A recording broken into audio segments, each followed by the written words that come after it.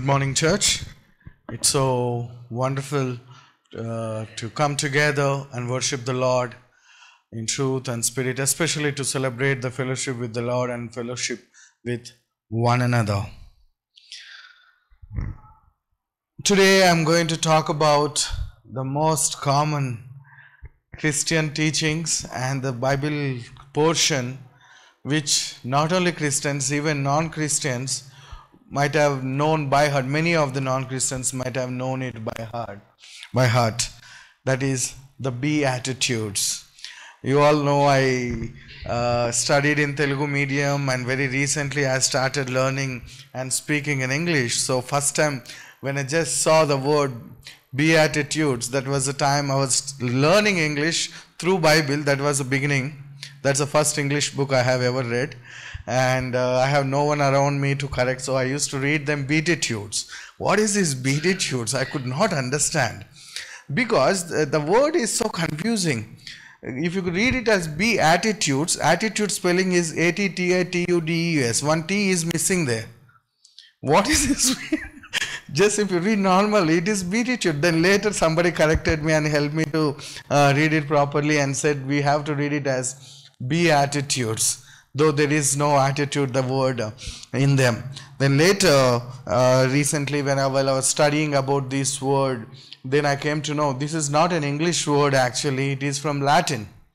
Uh, beatitudo is a Latin word that we have taken and we got our English word beatitudes so these are not beatitudes or these are beatitudes which have come uh, from Latin.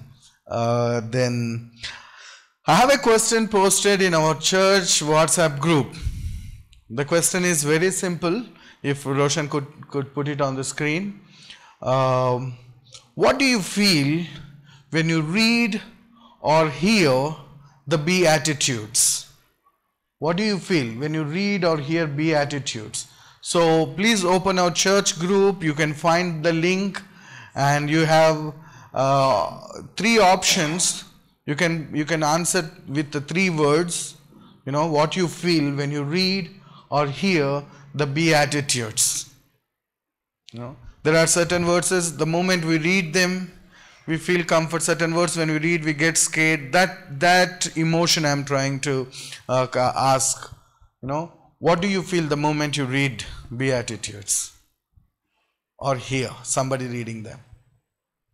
Please keep your answers coming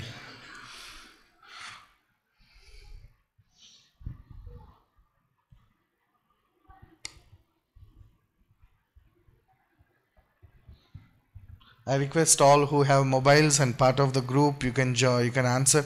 And who are not part of church group, you can open menti.com and enter the code double five two five six four seven three.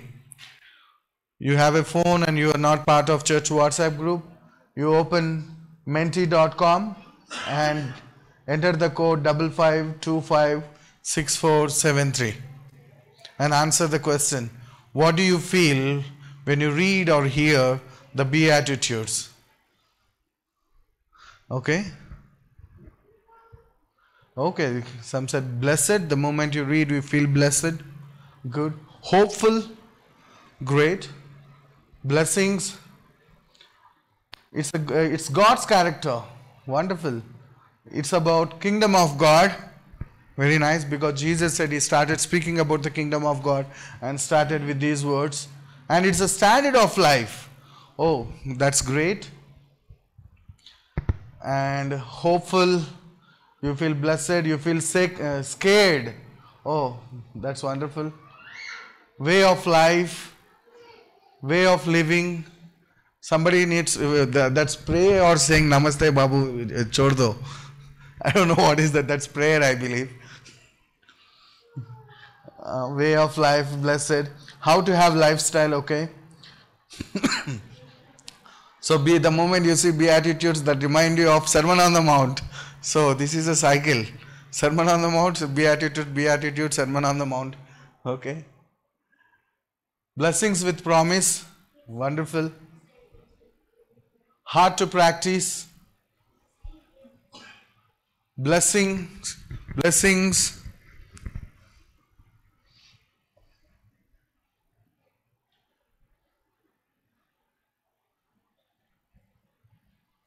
Till now, eight people participated.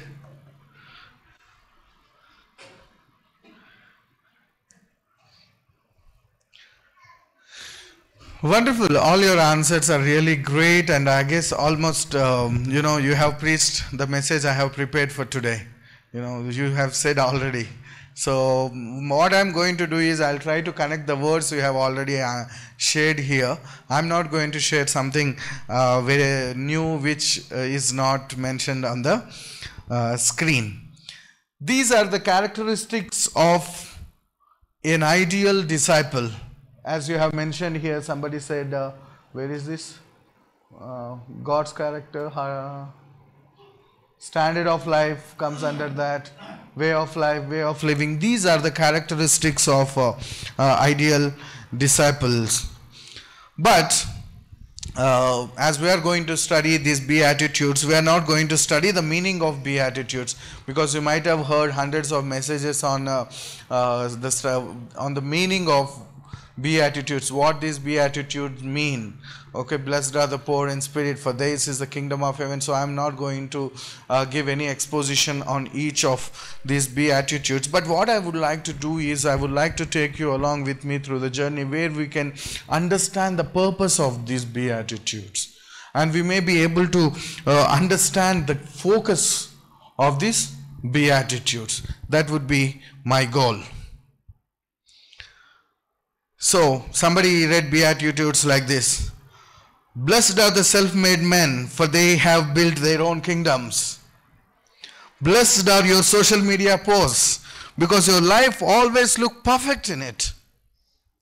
Blessed are the ruthless, because they get what they want. Blessed are those who hunger for the newest iPhone. Mine is not new iPhone, I'm still using 13. Okay? Blessed are those who hunger for the newest iPhone, for they will be the talk of the fr- their friends. Blessed are the powerful, for they shall receive respect.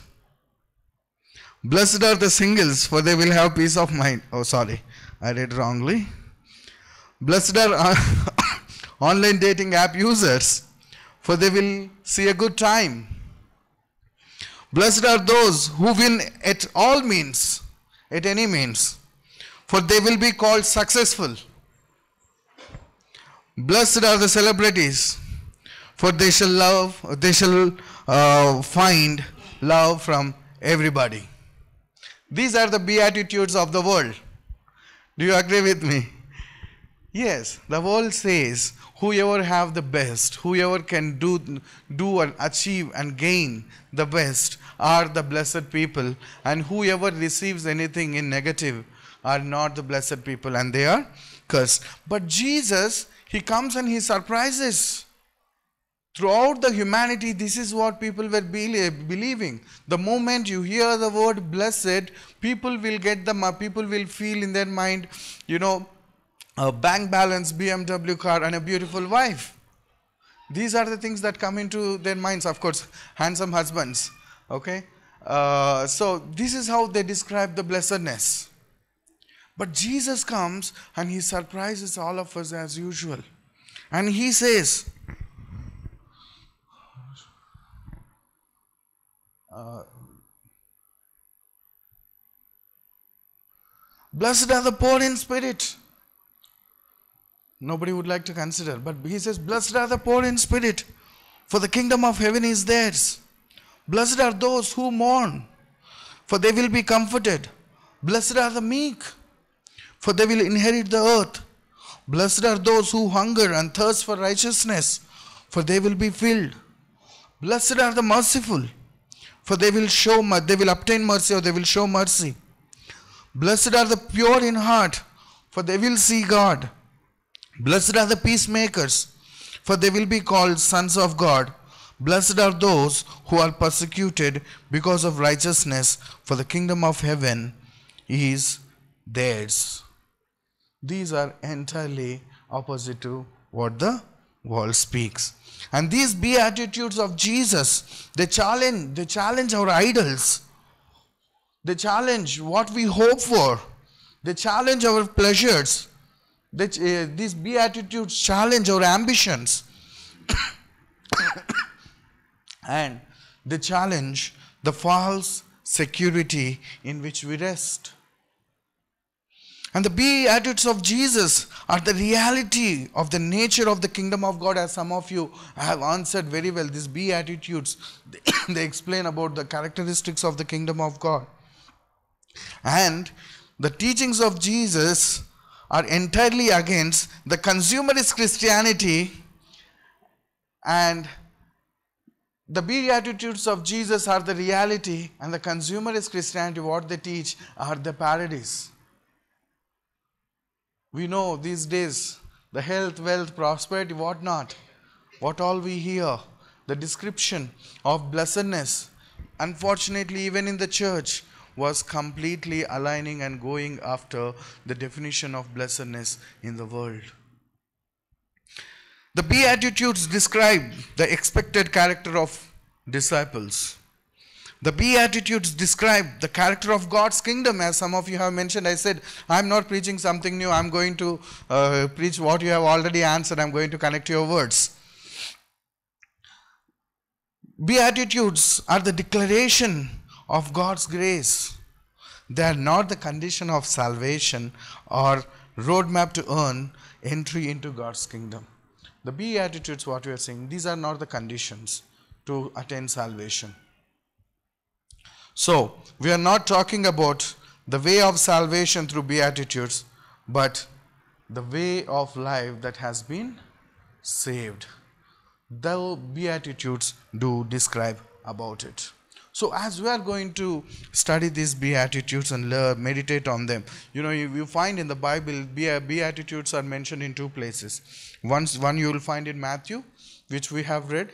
It is also mentioned in book of Luke. The Luke version of Beatitudes appears as if they were about social transformation. Blessed are the poor, for theirs is the kingdom of heaven, they shall be filled. All social reforms, those are spoken, but in Matthew, it has more of discipleship related sense and nature for the Beatitudes. Matthew's is a Sermon on the Mount, but Luke version is Sermon on the Plains. You'll understand why am I saying this uh, as we are moving forward in our sermon. In Matthew, you'll find Jesus, you can find it in the Sermon on the Mount. And in the Luke, Jesus comes down from the mountain and he'll be speaking to the disciples. And then he speaks about Beatitudes, which are having uh, social transformation uh, as the focus. These two are in two different contexts. Matthew gives us eight of these Beatitudes. The first four are talking about the situation of the disciples poor, meek, you know, persecuted. These are talking about the situation of the disciples, and the later four speak about the characteristics of the disciple. And as I said, in Matthew, the Beatitudes are part of the Sermon on the Mount. They start from, uh, start, these are the beginning of the Sermon on the Mount. Can you answer, can you tell me or can you help me understand uh, what is another picture you can get the moment you think about Sermon on the Mount? There is another great picture in the Bible which is similar to the Sermon on the Mount. Do you know what is that? There is another event in the Bible which is very much similar in its action and in its nat- the nature of the message.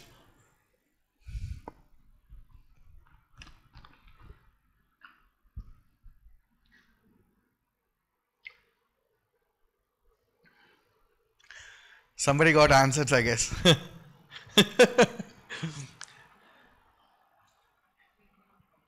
huh? Feeding of 5,000. Good. Feeding of 5,000.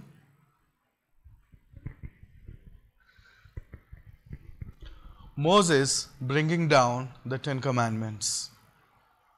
Moses was on the mountain and he was bringing the Ten Commandments. Jesus was on the mountain and preaching this sermon. Let's see what are the connections we can find in these two, uh, which helps us to understand the focus of this message. Beatitudes are, Beatitudes are given after Jesus returned from his wilderness experience for 40 days and 40 nights of fasting, prayer, or in other words, we can say his personal interaction with God. And the Ten Commandments came after Moses climbed up to the mountain and he was in the presence of God 40 days and 40 nights and he was having intimate conversations with God. So Jesus was having conversation with God and he came and he gave beatitudes. Moses, he had intimate communication with God and came and gave the 10 commandments. The beatitudes open the sermon on the mountain and the 10 commandments open the long application of the law. The Beatitudes were spoken by the mouth of Jesus, mouth of God. And the Ten Commandments are given by the finger of God. Jesus, God, in his, with his own finger, he has written and has given the Ten Commandments. The Beatitudes were recorded on human hearts, but the law and command, the Ten Commandments were recorded on the table of stone, tablets of stone. The Beatitudes focus, uh, focus on internal attitudes, but the Ten Commandments focus on external actions. The Beatitudes stress what to be, but the Ten Commandments warn of what not to be or what not to do. You take the Ten Commandments, all the Ten Commandments tell what not to do. You shall not have any other God. Okay? You shall not bow down. You shall not kill. You shall not murder. You shall not covet. So, what not to do? but one main common thing in these two is both are the discourses about the law.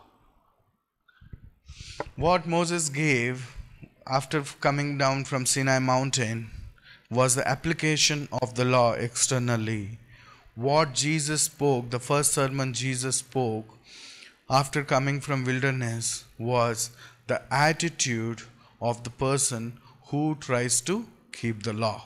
This has to be the attitude of the person who tries to keep the law. So both these discourses are about the law. Exodus is about expected acts under the law, but the Beatitudes are about the expected attitude under the law again. Let me tell you this statement to simplify. The Sermon on the Mount is an expression of the law only. The Sermon on the Mount is not a message of grace. The Sermon on the Mount is an explanation of the law in its depth. Uh, uh, if you have to pick up stones, please hold them for a while, then we will be able to understand. Somebody said Beatitudes are scary. I really would like to appreciate that person. My heart also resonates with that person. When I read Beatitudes, I also get scared. Because the characteristics of the Beatitudes are comparative in nature. The word, look at the word poor. Poor is, is a comparative term. Can you describe what poverty is? Can we describe? No, we cannot describe poverty unless we, we have uh, richness in front of, uh, in, unless we have richness. When we have two things, then only we can say this is poor and this is rich. The, the word poor is a comparative term. I'm, I'm a poor fellow. I'm truly telling, I'm a poor fellow. If I have Ambani next to me, I'm definitely like a beggar kind of fellow. Okay? And there are so many people who are begging on the road. In their comparison, I'm a rich fellow. Right? All of us. And the beggar, he must be richer to the person who was about to kill himself. right? These words are comparative in nature, so we cannot describe this word. So, when we say blessed are the poor, uh, my question is this Am I poor? I cannot tell. I am I poor? What about meek? We talk. Can can can we say anybody? Can any of us tell us tell here? I am a meek person. it is very difficult, right? If we say I'm a meek person, just imagine about Mother Teresa. We are meek or she is meek. Are we proud people? Again, it's comparative term. It's so confusing. I'm, a, I'm a, whether I don't know whether I'm a proud person or I'm a humble person, because these are comparative. Are we hungry? We cannot say. Uh, you know, we cannot even tell when we felt hungry, right? Unless we missed. Uh, we went. Uh, we, we were driving and could not find a restaurant. Can we say we are hungry? No. All these are comparative in nature. So we, uh, when we, to say poor, it has to be extremely poor. To say rich, it has to be extremely rich. Otherwise, there is no, no one of us can use these words. So my question is, uh, is there anyone who is poor in spirit in the church here? I think about myself as I was preparing this. Am I poor in the spirit? I don't know. Sometimes we may feel, I am doing good works, I am reading scripture, I am going to church regularly, I am giving my donation, I am giving tithes, I am helping people, and you know what? I am going and sweeping the church also. I'm, I'm, uh, you know, I humbled myself. Can we say we are poor in the spirit? The moment we list these things out, we are becoming proud in the spirit. You know? The moment we list out about our spirituality, we become proud. Some say, I'm obeying the God's commandment very well. The other person is going and drinking and uh, taking drugs. The moment we bring these two, we are becoming proud. The elder son and younger son story we all know. The elder sons are, uh, younger sons are in the bars. The elder sons, they are in the church from the uh, uh, you know Luke chapter 15 the parable of the lost lost son father of the lost sons. Both of them were lost equally lost. So these words are so scary to me to say blessed are the poor in spirit. My question always comes when can i be blessed? Can i ever ever be blessed according to this? Hmm? Can any of us possess these qualities? We cannot answer. And reality, I'm telling you, none of us can absolutely possess these qualities. So, if we cannot possess these qualities in its absolute sense, can we be the blessed? Can we call these words are comforting me? No, these are words of judgment to me. These words scare me to death. Any spiritually poor? We don't know. Any meek? No. Persecuted? We don't know. We Indians, we see we are being persecuted here. Then what about people in um, Middle East? If we don't possess any of these qualities, how can these words of Jesus comfort us? These are not the words of comfort, but these are the words of judgment. Beatitudes describe the attitude, attitude of the person who wants to obey the law. So, this, according to the law, this should be our attitude. This should be our attitude. But whoever wants to obey the law would try to attain this attitude, try to attain these qualities, but the reality is they cannot. None of us can. But the good news is attaining these qualities is impossible. That is the good news of Beatitudes. The good news of Beatitudes is not blessed are those. The good news of Beatitudes is I cannot attain it. I cannot reach. We need to come to the foot of Jesus to get, get help. By attaining, we reach the wall of impossibility and we cannot climb. But the moment we realize that we cannot attain these, we need the help of Jesus, what happens is we become poor in the spirit. We become humble. when we come to the foot of Jesus Christ. So, the Beatitudes are not the words of comfort, are not the words that, that challenges us or encourages us to attain these qualities. They tell us we cannot attain and they prove that we are utterly lost. And when we come to the foot of Jesus, that is where it starts.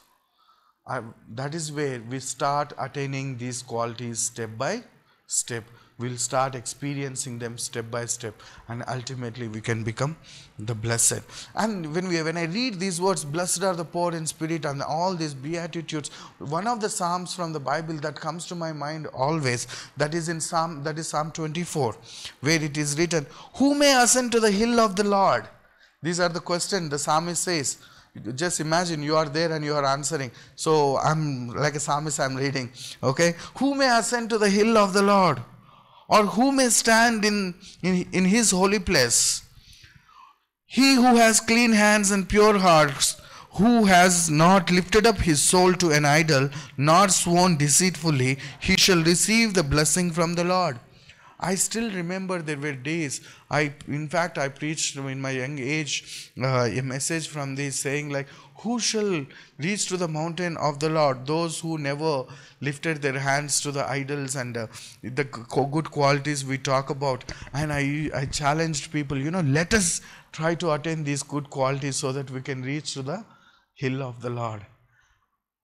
That is totally wrong. Here, Psalmist asks the question, but he doesn't answer immediately. He answers later. He says, uh, um, He who has clean hands and pure heart. Anybody have clean hands? If you may have clean hands, but definitely not pure heart. Our heart is totally deceitful, as Isaiah says. Okay. And he shall receive the blessing from the Lord, which is impossible according to that, and righteousness from God of his salvation. This is Jacob, the generation of those who seek him, who seek your face. Look, can you see the transition taking place? The psalmist, he is not focusing on the people and he's taking the focus on somebody. And who is this somebody? The description is given from verse onwards, 7 onwards. Lift up your heads, O you gates, and be lifted up, you everlasting doors, and the King of glory shall come in. Who is this person who can attain these qualities? That is King of glory. Who is King of glory? The Lord strong and mighty, the Lord mighty in battle. Lift up your heads, O you gates, lift up your everlasting doors, and the King of glory shall come in. Who is the King of glory? The Lord of hosts. He hosts, he is the King of glory. And here psalmist take the attention to the people. Who shall climb to the mountain of the Lord? And he says, None of us can climb. Only the King of glory can reach to the mountain. None of us. So the Beatitudes are also spoken just like this psalm. Who shall attain this blessedness? The answer is none of us. Who can attain? Jesus alone. That is what blessed uh, Beatitudes are talking about. They talk about Jesus. Jesus is the only one who has all these qualities. Can we find any humble person more than Jesus? Better than Jesus? No one. His humility has been very greatly explained in Philippians chapter 2 and Bible challenges us to have the same mind in us. Being God, he humbled himself even he, he, he gave himself into the hands of the wicked people and to be killed in their hands and to be buried. Who is the source of life was without life and being buried in the underground. Jesus alone holds these qualities. He is the humblest man, he is the meekest person, he is the poorest person. He emptied himself, the scripture says. He gave everything he has for us. As uh, Selena was leading the worship, she said, He gave everything to us, Himself completely to us. And He became, what is something that we cannot give to others? Ourselves, right? And Jesus, He gave Himself also to others. Okay? Because he is being God, he is able to give himself to others. And he is the poorest person. And he alone who have all these qualities, he alone is the blessed person. So these beatitudes are not given to us to say that you are blessed. These are not given to say to be comforted. I mean, there can be messages, and just uh, in this forward, uh, perspective, it is like that. Okay, Matthew chapter 5, verse 17. It, uh, it says, like, you know, by Jesus telling that you cannot attain these things. Uh, so he is removing the law? No, he is saying that do not think that I come to destroy the law or the prophets. I did not come to destroy them, but to fulfill them. Can you understand the difference between the words obeying the law and fulfilling the law? Jesus doesn't say, I came to obey the law. Jesus said, I came to fulfill the law. Obeying the law means doing everything that it says.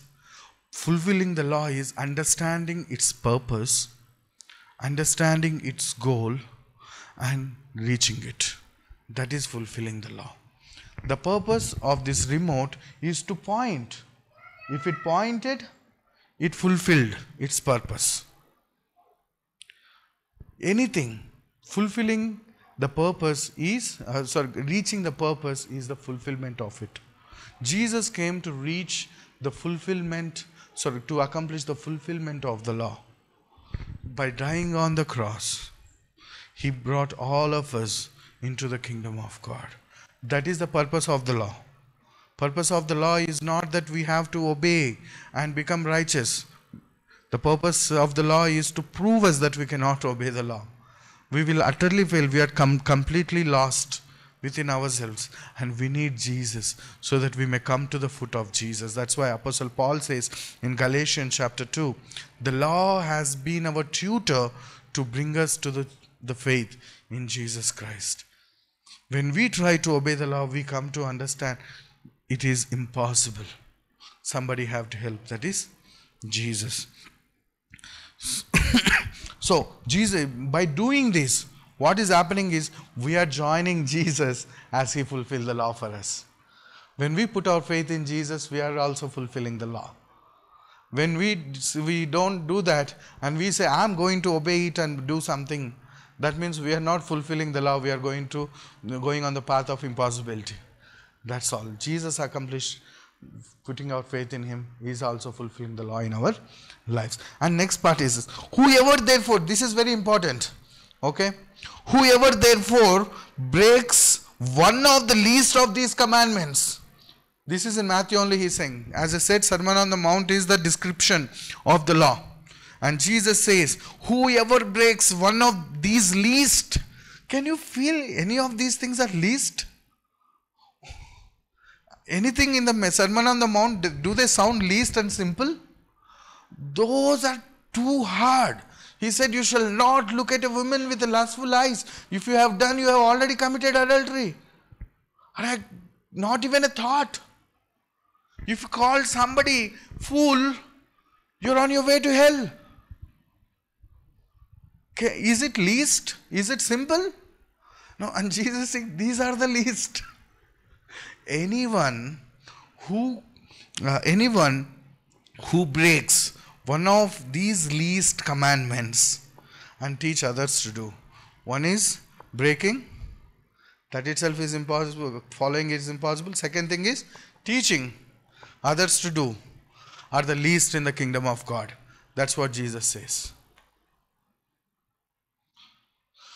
So we are not called here to take the Sermon on the Mount and tell, tell people these are the ways God wants you to live, where we ourselves are not able to live. Then let me tell you, Jesus says that we are the least people in the kingdom of God. And I would like to say, those who say uh, we ought to do it and they fail to do it and teach others, they become hypocrites because they themselves cannot obey what they are teaching.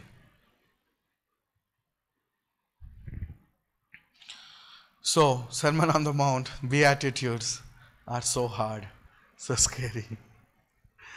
It is not just talking about the plan of salvation. People may say, Oh, we put our faith in Jesus, uh, now it's okay. We already put our faith in Jesus. So I'm not saying you have to obey this in order to attain your salvation. But after you attain your salvation, you have to do this. Again, we are doing the same mistake. These beatitudes are not the pathway to attain salvation, but these uh, these are not talking about plan of salvation, but these are talking about the living as a lawkeeper. Again, if you try to keep again any of these by yourself, you are trying to become the trying to become the lawkeeper again. Okay, so these are not for that. Then people may say, "What shall I do after being saved?" You are saying you should not do the you, you don't need to do these or mm, the law is there this uh, sermon on the mount is there these are the keeping the law then what should i do? The answer is very simple enjoy your salvation. Enjoy. You are saying i try, did my best to attain ice cream. You got your ice cream then what to do? That's what you are asking. Eat. Enjoy but it is a tricky question. People may say, Oh, you, Praveen, you're not understanding what I'm saying. But I can relate to what you're trying to say. The answer is this Unfortunately, many could not perceive the salvation that is gifted to them. We Christians, we believe in Jesus. We know in G- believing Jesus only we have salvation, not in obeying the law. We all know that. We are not trying to obey the law. We all believe in Jesus. But unfortunately, many of us are not able to perceive or notice what we have received. You know why we could not perceive and notice what we have received? It is because we put our eyes again back on the law. We put our eyes back on the law. That is why we are not able to perceive the salvation we received we are not able to enjoy the salvation we received is because we are still our minds are still on ourselves. Again they are not on christ. Through jesus work we have a great relationship with god has been established. My friends um, let me challenge you with this question. Can you feel your relationship with god it is a tangible reality. If you don't feel your relationship with God, there is no point in singing all those songs. They won't make any sense. The very purpose of salvation is relationship with the Lord. When we are not able to experience that relationship, what is the point in claiming that I am saved? The salvation is about relationship with the Lord. And let me tell you, it is a tangible reality. It is a tangible reality and it becomes a truthfully tangible reality when you put your uh, focus on Jesus, not on any other things, not on the Sermon on the Mount, not on the Ten Commandments. When you put your focus on Jesus, then you will be able to notice your salvation. Then you will be able to perceive your salvation. Then you will be able to experience your salvation. Our salvation is not just our commitment to accept the teachings of Christianity. Unfortunately, many Christians, many of us, we got stuck there. Okay, this is Trinity. This Jesus came, died, and buried, rose again from the dead. I believe this. Okay, I affirm. You know, I accept these teachings. Oh, I am saved. No, it is not. Salvation is not about just accepting the teachings of Christianity. It is about a personal, tangible relationship with God in the Spirit. And if you are not able to experience it, don't be, you don't need to be disappointed. You can just take a moment and pray to God God, I really want to experience this salvation. I want to experience relationship with you. Then truly I am telling you, you will not be disappointed. But one condition that is, take your eyes off everything else, uh, even yourself, even the Sermon on the Mount, even the law, and put them on Jesus. Then you will be able to experience it tangibly. So, we cannot notice our salvation as long as we set our eyes on the law. We can only perceive and notice, uh, perceive and celebration of salvation when we fix our eyes on Jesus. That's why author of Hebrews says in Hebrew 12 2, let us look unto Jesus, who is the author and perfecter of our faith. So, what is the purpose of these beatitudes now? To take our attention to Jesus. First, we cannot be saved. It is impossible path, impossible path to follow the law. That is impossible wall. So we need to put our faith in Jesus. So the law and Sermon on the Mount teaches us, leads us to the foot of Jesus. That is one part. Now we are saved by grace through faith. We are not saved by obedience of the law, and we all know that, and everybody believe that. And we are not going to live also by the law or by the Sermon on the Mount. That we need to realize. Not only being saved, we are not going to live by the law. So that is where these Beatitudes teach us to fix our eyes on Jesus. So Beatitude describe the qualities of the one who seeks to obey the law as I said. This is a good news because the Beatitudes are impossibly hard to fulfill. The purpose is to teach us that good news, uh, that it, uh, sorry, the purpose of it is to teach us uh, to come to Christ, to show us Christ and to guide us to Christ. That is the purpose of the Beatitudes. The Sermon on the Mount is the law and its in its application. That is, it's not possible. That is the application. It is impossible to keep or obey the Sermon on the Mount. That's why Matthew 11, Jesus says, Come to me, all you who are labor, oh, sorry, come to me, all you who labor and have heavy laden, and I will give you rest. That is the fulfillment of the purpose of the Sermon on the Mount or the law. So, in conclusion, what I would like to say is Beatitudes are blessings if we anticipate them in faith by God's grace. And their purpose is to bring us to the foot of Jesus. They become curse if we try to use them to attain salvation or if we try to use them to continue your Christian walk, they become curse in our lives. If we try to attain it by our own virtue, they are impossible. Jesus is the only blessed one who possesses all these great qualities in these eight. Blessed are those in Beatitudes, they are talking about Jesus. And when we put our faith in Him and join Him, completely look unto Him, we start partaking in those blessedness. And only by acknowledging our inability and coming to the foot of Jesus, then only we can experience the blessedness. May God bless you.